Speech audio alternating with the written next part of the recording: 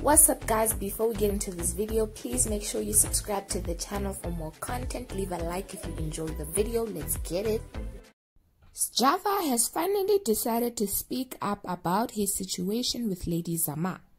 Sjava uploaded his apology to his Instagram as a lengthy IGTV video. Sjava has admitted that he and Lady Zama dated and he has also said he realizes his mistake because he did not give Lady Zama the kind of attention she deserved as a girlfriend. Please listen to the rest of this video to watch Java's apology and to hear what he has to say about the whole situation and why he is apologizing. And don't forget to comment down below and tell me if you think Sjava's apology is really genuine or he is only apologizing because of this gender based violence protests and activism going on right now. Thank you guys so much for watching. Don't forget to comment, subscribe, like and share the video. Eh sanibonani lokhulumayo Java. Um Decide ukuthi ngenze le video. Ngikwazi ukuthi ngicacise izinto eziningi about the situation engibhekane nayo. and everything that's happening in life in yami. I've been reading about it and this is isizathu sokuthi sonke lesikhathi ngakhuluma ngithule it's because sasitshelwe kanjalo ukuthi asivumelekile ukukhuluma ngalento about ecala especially ku-twitter or to the to the media and social media. But ngokubona ukuthi ukuthula kwami kwenza ukuthi abantu bangazi ukwenzakalani. Yasin bayibuza imibuzo ngokubona abantu bephendulana bephikisana ukuthi kwenzakalani and that's why ngenza le video ukuthi ngikwazi ukuchaza the whole situation. Engizoqala ngayo okay masihlangana qala nje nge-relationship kwenzakalani kuze kufike la sikhona njengamanje. Okay sahlangana saqala ukuthandana 20 2017 masihlangana 2017 ngamtshela ukuthi cha mina nginayo intombi bayamtshela ukuthi nginayo intombi hayi-ke umuntu oku-understandayo lokho. Ekuhambeni kwesikhathi kwashintsha. Kwaba umuntu othi kuzomele-ke manje ukhethe. Understand engasahambisani engasahambisani nalento engangishilo nanto sasivumelane ngayo. Qala lapho-ke inkinga and kwi-relationship yethu kuningi obvious abengathi abengathi lo kwadala ukuthi angajabuli ngezinto eziningi. Understand? And mina ngumuntu who's very invested kulento enyenzayo umculo. So indaba nje ukuthi relationship ngibe yangihlula because my whole focus kulento enyenzayo ngoba lento enyenzayo iyona engenza ngiphile iyona yenza ngisaphutha umndeni wami. Asen so lokho ke into ebidala inkinga esikhathini esiningi ukuthi anginaso isikhathi eh nendaba yokuthi kunentombi. Yabo lento and ngihlale ngibona abantu bekhuluma bethi hey ngishadile angishadanga mina. Ngaze ngishade nabona kodwa magazine nakhona qhutsheka nokuthi igama lami kuthiwa ngondla ingane. Anginangane mina. Ngaze ngibe nengane anginangane at all. Understand? And and ngikholwa ukuthi into eyadala ukuthi kugcine ngempela silesimo esikuso indaba yento eyenzeka kule show yasesanarena eyenzeka estage. And ngikholwa ukuthi leyo nto leyo wafile ngathi not ukuthi wafile ngathi wafila kanjalo vele ukuthi udisrespectekile uye-embarrassed imhlazile leyo nto leyo leso senzo leso. And ngizothanda ukuthi ngixolise ngalokho. Understand? Ngiyaxolisa.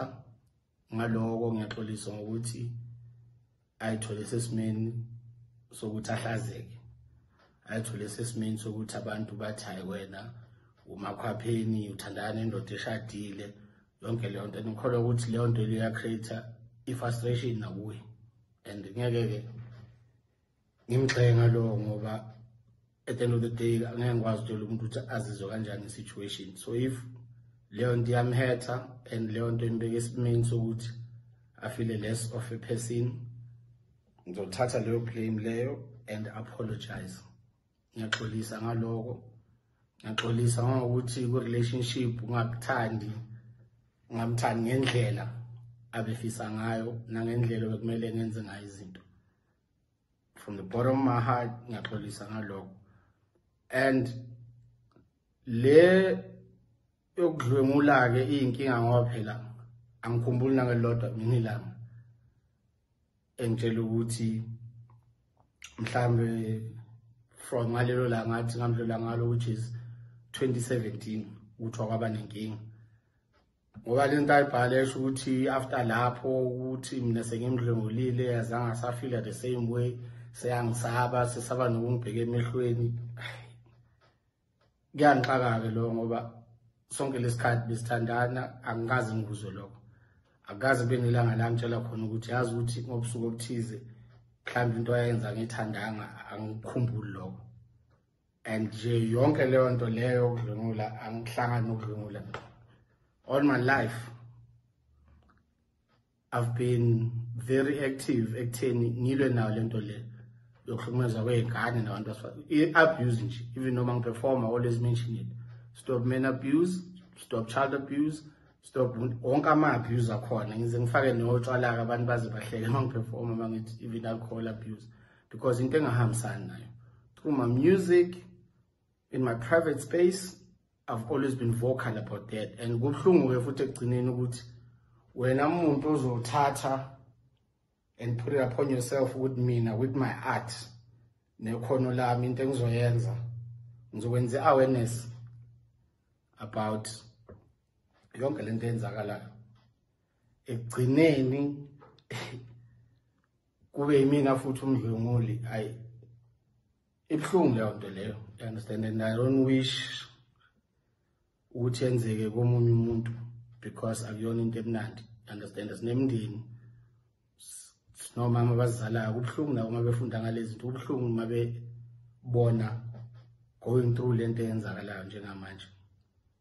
I understand? And ngifuna nje ukucacisa lo ukuthi everything else engibone ngayo amabhanda ngiyaxolisa ngicela futhi angixolele. But leyo kudlwengula ke yona cha into engakaze ngiyenzi noma ngiwabuza nombane engathandana naye previously ngaze ngishaya intombazane angikaze ngirephe intombazane that's that's not me angiyenzi leyo nto leyo.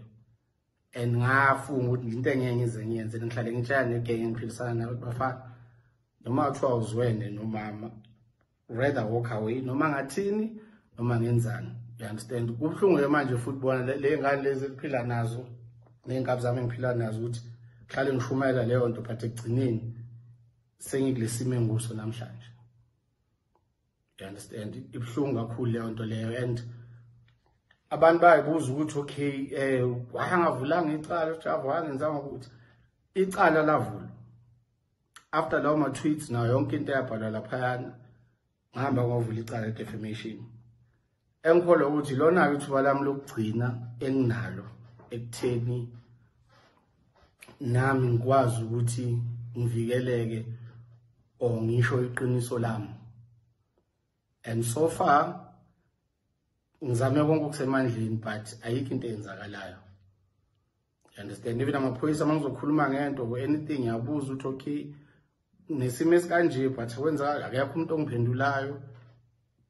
Nethimba lakhe mase libhalela iy'ncwadi angiphendula. And into ebuhlungu ukuthi sekuyophela unyaka manje lento ikhona. Angisebenzi khona ukusebenza niyafunda emaphepheni kuthiwa ngikhishwe la ngakhishwa la ngikhishwa la. Ngaze nangelilodwa ilanga ngiboshwe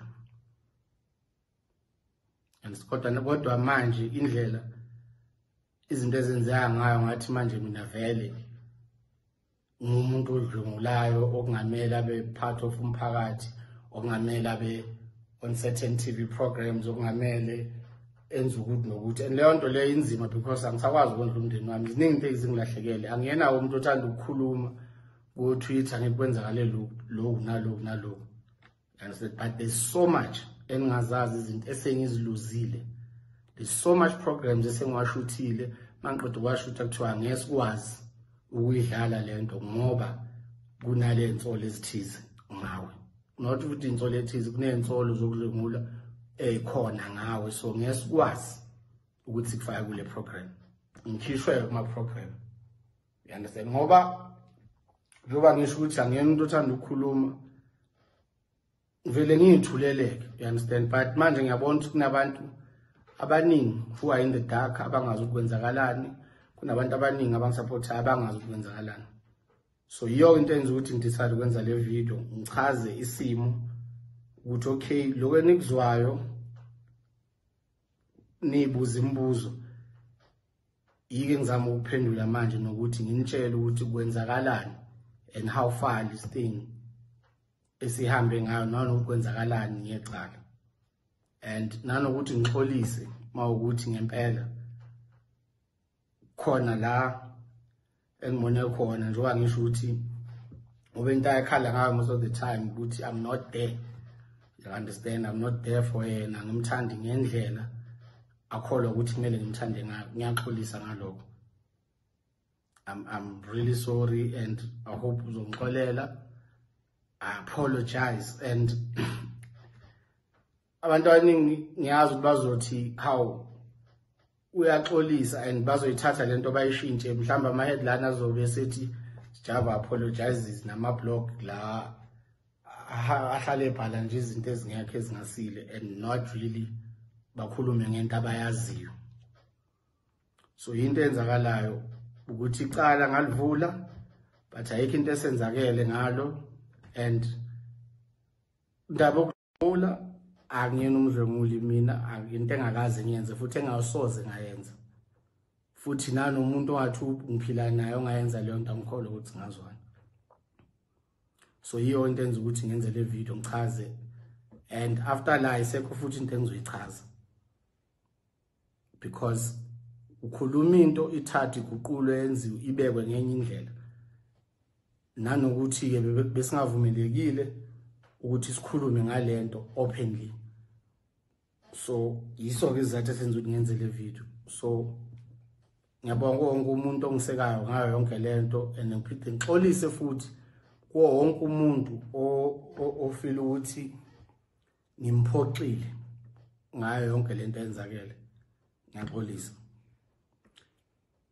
ngoba kunzima ngempela ukuba semphakathini onenselo efana nalezi. Noma usesontweni kukhulunywa ngayo lento abantu abahlukumeza abantu besifazane uhleli laphayani soyajeqezwa use noma athi ukuphi ubukela i-TV ikhulunywa ngayo lento and ibuhlungu lento because ngempela ngempela ngempela ngempela ukusolwa ngento ongayenzile akukho mnandi especially if uzoluza izinto njengoba futhi ngiyi-artist nje ziningi izinto engiziluzayo. So ngithi angenze le video ke ngichaze konke lokho and i hope nizo-understanda le nto engiyishoyo and angikholwa ukuthi ngisazophinde futhi ngikhulume ngayo le nto unless kunesidingo ngempela sokuthi ngikhulume ngayo. Ngiyabonga. Ngiyabonga.